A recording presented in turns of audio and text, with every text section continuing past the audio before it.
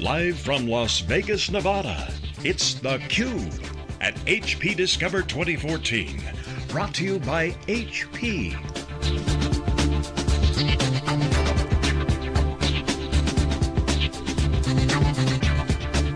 Now here are your hosts, John Furrier and Dave Vellante.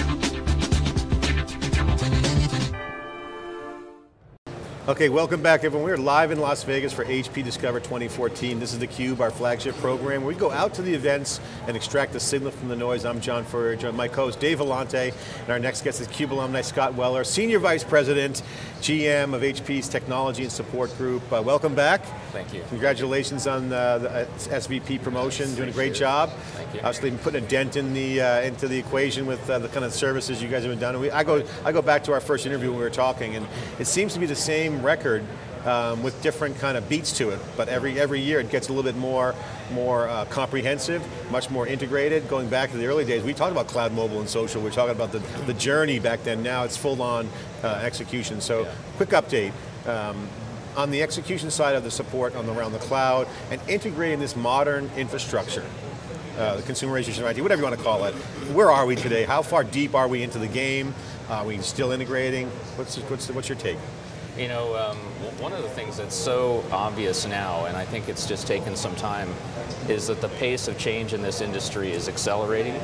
And, uh, you know, I think uh, we've talked about hybrid being a way of life in our last meeting, and I think more and more uh, our customers are saying, you know, we've got We've got an IT footprint that needs to evolve, but also, no matter what we do, we'll always want and need more than what we can do on, on site. And so, how do I have workloads on and off premise, and how do I govern all that and how do I enforce policies and compliance and so on. You know, we talked about DevOps before. The whole way we write apps has changed and uh, the way we broker for services is changing. So, you know, it's just, uh, you know, we're, at a really interesting time in the industry. And in fact, what's, what's great is uh, HP has not only got a point of view on all this, but we've got a fully integrated story now where in the past we had some of the enabling pieces, but right now I think we've got the full story. So obviously cloud's been big. Um, we were at the OpenStack Summit. Obviously HP crew was record numbers. I mean, I've seen yeah. HP involved in OpenStack. We, yeah. I mean, HP is so involved in OpenStack. It's pretty pretty impressive actually. And we had a great time talking to your associate general yeah. counsels and been involved in the formation. She sits on the board of both Linux and um, OpenStack. Right. So big presence. Other companies like Pivotal announcing news today. Oh, enterprise grade services. So um, they're new to all this game. I mean, you guys are not new to the professional services business. What, what's right. different about what you guys are doing relative to these these upstarts? Upstarts like Pivotal who are trying to nibble into the market and try to peddle in enterprise grade services. What's the difference? Uh, is it just more focus? Is it size, scale, capabilities? How do you compete against these guys? Well, I can't really speak uh, with any authority to what the others do, but what I can tell you is our customers really value the fact that we've been here We've been in this industry a long time. We know what enterprise grade means. And so when we launch something like our OpenStack, Helion OpenStack, it means that it's not just a, a piece of software that's uh, you know that's refined from open source. It means it's fully supported like any other product that we would bring to market. So, so, so Scott, I wonder if you could talk about. I, I can't recall ever seeing so many disruptions in the business. I've been in the business a while. Um, the, the, the, disruptions used to be sort of um, mono, you know, like the PC attack, the microprocessor revolution attacking right. the mainframe, et cetera. But today we got cloud, mobile, social, big data. Underneath that, you've got Flash, you've got converged infrastructure, you got OpenStack, you got open source as a phenomenon. Docker now coming out as the hottest thing in the world. All these disruptions. Um, how does an IT organization deal with that? There's technology, there's people, there's process, and how does HP services help them? You know, it's. Uh, I, I think you're really on a key point, which is you have all this great technology and all the disruptions. The real question is, can you, is there an uptake? Is there a way to digest all of this within a running business? And so, so that's why within technology services we have a consulting arm that's all about helping customers, first of all, understand these new technologies, but how do they fit? What makes sense in their business? And then once they've made some technology decisions and so on, how do they on-ramp to that? And also, you know, once that technology is in place, oftentimes it means new people, uh, new skills, new processes. And so we're able to come in and assist across that journey, and that's really what, what customers look to us for. Yeah, and, and of course, it's hard for a customer because on the one hand, they just they can't rip and replace. They, Right. They've got so many assets on the books, and they're under pressure to do do more with less. But at the same time, I'll give you an example. We just did a survey, uh, the Wikibon community, 300 respondents, 100% of the 300. 66% said that they're shifting resources away from the enterprise data warehouse toward Hadoop, and 33% said they will do it before the end of the year. So it's effectively 100% of the survey said we are going to disrupt our traditional enterprise data warehouse. But I worry for those guys. So there's opportunity that they're chasing, but mm-hmm. so what happens to all that, that infrastructure? Can HP help the customer get from point A to point B without ripping and replacing, and what role does services play? Well, you know, some technology just is, uh, you know, passe, and uh, and customers simply make the choice that now or another time is going to be the time that I, I absolutely have to move off that technology. What we see oftentimes is that there's a there's a delay where companies get more comfortable with the new technology. They do some trials and so on. Ultimately, a decision is made. In some cases, it's a, it's a fast break. It's a, a complete break from the past, and, and I see this in, in uh, data warehousing and other kinds of technologies. But you know, we've never been about having to rip and replace as the way to evolve to the future. Now, there are other companies, frankly, that have made a business of that. But we're, what we're trying to do is say, look, there is a path for you. And in fact, you know, some of the services we have, like flex capacity, where we variabilize the IT, we can actually buy back uh, older gear or even competitive gear to give that customer a chance to break through to that new set of technology if it's the right time for them to do it. Okay, Scott. I got so I got to ask you. So now that you have a senior vice president in your title, I get to ask a wider scope of questions. Of course. I won't ask you about margins and you know cash flow and stuff like that, right. but I will ask you about a comment that I've made uh, in the past couple of years that HP's got to get back to its roots of invent. Now you happen to sit on, I think, the software and services representative uh, for HP Labs. Yes. So is that the key, uh, or a key for HP, is getting back to its roots of invent? Put Martin Fink in charge of labs, Yeah. uh, somebody who's come out of the product division. Yeah. So that's a big part of it, is commercializing the inventions. Yeah. So can you talk about HP getting back to its, its roots, and, and can it do it? Well, you know, I've, I've known Martin literally from the day I joined HP, and he is such an innovator, and he's uh, he's one of these guys that's so entrepreneurial, and so it was a great choice to put him in charge of the labs, and he's doing amazing things over there, and if you get a chance to bring him on, you should do that. But I think that uh, you're absolutely right. It's the innovation that sets HP apart. It's the it's the technology disruption. It's the invention that really sets us apart. In fact, customers when they think of HP, we used to have invent in our logo, and and, and they really look to us for that. When we're not innovating, they're they're sort of wondering, well, what are we about? So absolutely, and in fact. You'll hear all through the week that innovation and invent is, is, is always been key in our agenda. We're investing more than ever before, and I'll tell you, in my business, we're investing a lot of money at a time where there's all kinds of market pressures, but we've made some tough choices and said, look, we, if we don't keep inventing and innovating, we're going to be uh, an also-ran in the market. And, and people think of support services, for example, as you know, break, fix, or what have you. It's, it's so much more and so much more to our customers. We have to keep innovating. We've been doing it. We've been talking about it for years, and we're doing more and more all the time. So give me some examples of, of innovations in services, because you're right, people don't think of the services business as, as innovative. They think of break fix, but Yeah. there are a lot of, whether it's you know communications technologies, customer interaction technologies, predictive analytics technologies. Talk Right. about some examples. Well, ultimately, you know, there are less and less uh, physical moving parts in, uh, in compute.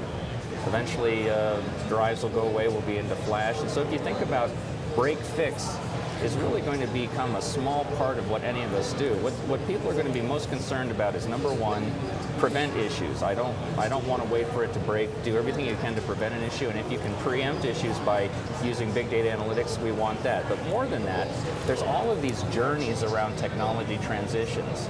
We expect the people that are walking in and out of our business every day to know about these technologies to help us get on the journey. So it's, it's sort of like, it's, it's all about helping to operate, but also getting uh, them on the journey. And, and customers are, you know, we've talked for years about the cloud. Now cloud is, everyone accepts that and people are doing it and really doing it. And now it's, it's sort of like customers are expecting that a company that is in the service business is going to be there as a partner to help them on the journey. That's what we do. What does the data tell you in terms of where customer problems occur? If it's not if it's not the disk drive breaking as much, or the, maybe it's Sure. the fans. I mean, they still Sure. break.